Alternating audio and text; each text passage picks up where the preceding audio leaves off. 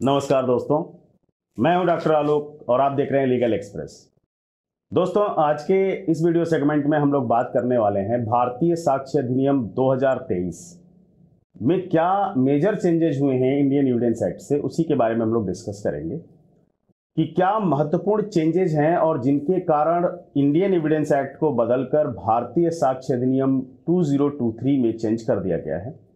तो major changes क्या क्या हैं थोड़ा सा छोटा टॉपिक है, आराम से समझिएगा। तो आइए शुरू करते हैं वीडियो को।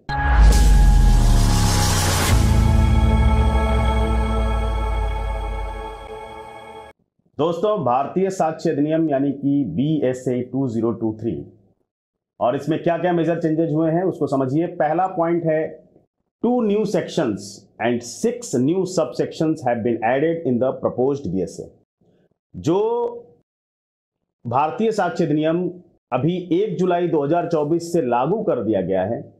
उसमें दो नए सेक्शन और छह नए सब सेक्शन को ऐड किया गया है। यह पहला मेजर चेंज है कि दो नए सेक्शन ऐड किए गए हैं और छह नए सब सेक्शन ऐड किए गए हैं।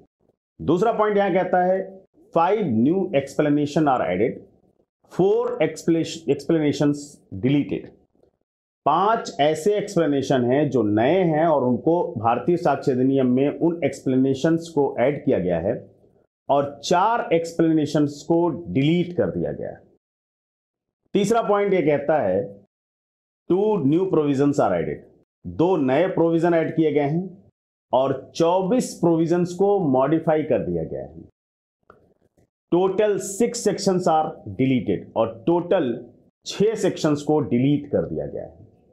तो आपको मैंने पहले भी लेक्चर में बताया था कि क्या क्या चेंजेज हुए हैं। थोड़ा सा एक ओवरव्यू लेकर बताया था। यहाँ पे मैं डिटेल में बता रहा हूँ और इस स्लाइड में अब मैं एक बार फिर से रिवाइज करना चाहूँगा कि दो सेक्शन इंक्लूड किए गए हैं, दो नए सेक्शन इंक्लूड किए गए हैं सिक्स नए सबको इंक्लूड किया गया है, पाँच नए एक्सप्लेनेशन दिए गए हैं, चार एक्सप्लेनेशन को डिलीट कर दिया गया है, दो नए प्रोविज़न लाए गए हैं और 24 नए प्रोविज़न 24 प्रोविजंस को मॉडिफाई किया गया है।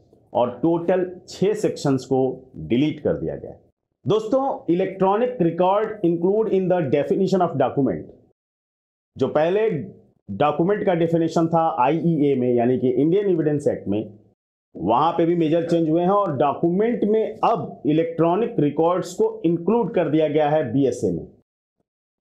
Statement received electronically included in the definition of evidence और ये डेफिनेशन के अंतर्गत इंक्लूड कर दिया गया है कि जो भी एविडेंस इलेक्ट्रॉनिकली इंक्लूड किए जाएँगे स्टेटमेंट जो भी स्टेटमेंट होगा इलेक्ट्रॉनिक रिकॉर्ड होगा, उसको अब डॉक्यूमेंट माना जाएगा।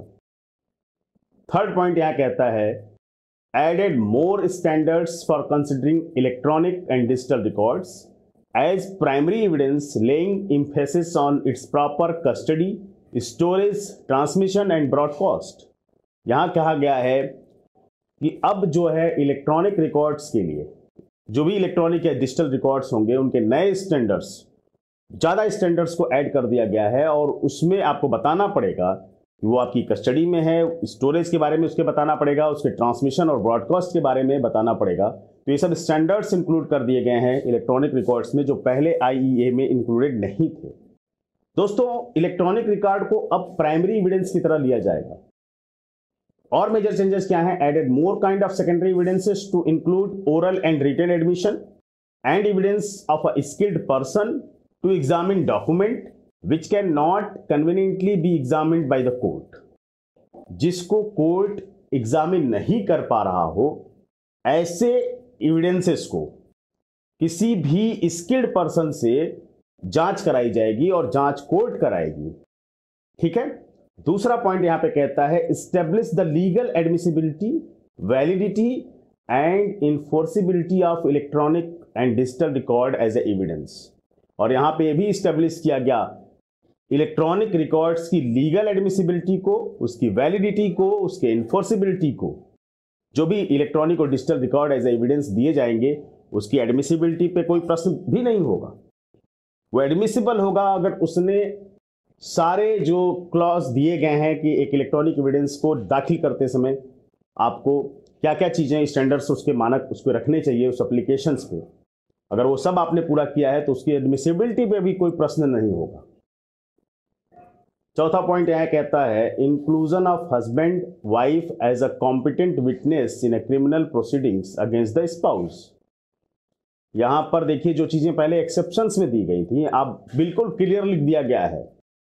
कि अगर और हस्बैंड और वाइफ का कोई क्रिमिनल केस है तो हस्बैंड और वाइफ एक कॉम्पिटेंट विटनेस होंगे एक दूसरे के अगेंस्ट में। बिल्कुल। तो इसको क्लियरली साक्ष्य अधिनियम में लिख दिया गया है कि they are the competent witness against each other if the matters in between the spouses in between the husband and wife यहाँ पे एक पॉइंट लिखा गया है conviction based on corroborated testimony of accomplice has been made legal अब जो भी conviction है, वो अगर किसी टेस्टिमोनी पे कंप्लीस है, उसको लीगल माना जाएगा।